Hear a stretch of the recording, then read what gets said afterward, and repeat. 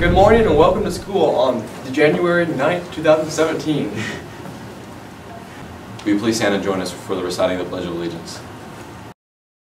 I pledge allegiance to the flag of the United States of America and to the republic for which it stands, one nation, under God, indivisible, with liberty and justice for all.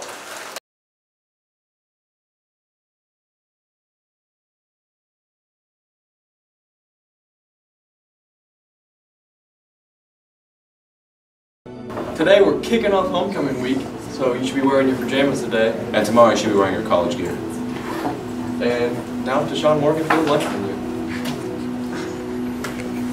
There we go. Biscuits and gravy, sausage, cinnamon apples, hash brown, juice, peaches, and milk. Remember guys, it's gonna be pretty cool this week. Cold like Minnesota, so you better bundle up. See you tomorrow.